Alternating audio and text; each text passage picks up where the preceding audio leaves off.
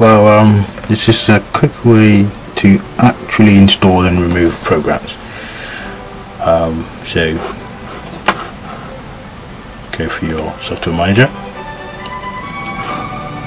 And these are what are currently installed. These over here. Okay. Um, these are what are available.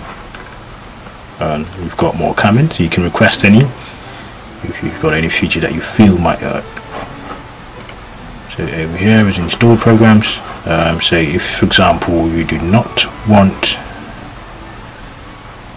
the Ripper for example just click it and delete but of course you can put it back again it's just um, going to remove it from the um, available section but it will appear and you, um, remove it from the installed section and keep it at the available section. So you can always go back again. So if you for example you want to um, uh, click on the service just click that and then you can install. There's over here. Um, there you want a special server just click that. Install. What's already installed you don't need a backup service you just click that and just delete it. But you can always put it back later. Um, now the main section you can click this to update um, for any features. And um, the settings option which is also useful don't forget to select your timer. So just click this and then you, you pick the date um, the country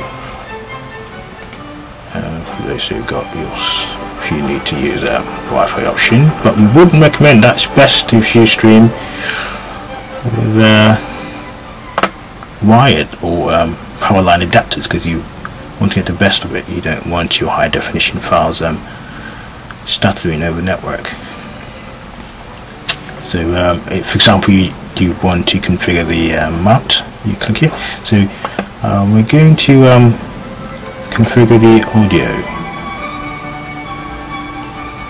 So once you've got your you know, amp and DAC connected just make sure you select the option for the port. So if for example you prefer to use USB audio just um, click that and then you don't really need to put these in because if you don't know them just leave them. Um, you can always leave these at auto it's fine. Um, yeah and then you just save the option over here just click that and save. Of course the message will appear at the top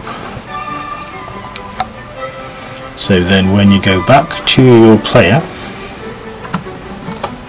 so we're going to go back to a player for example.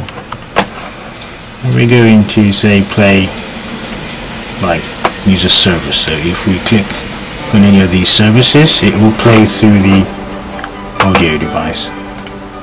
So if we for example let's go for albums. We'll play that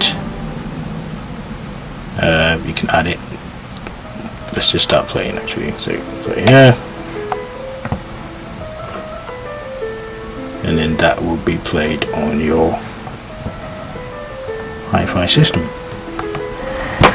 Do not forget to check the option at the top. Make sure you've selected your correct system at the top and that's it. Um, thank you for watching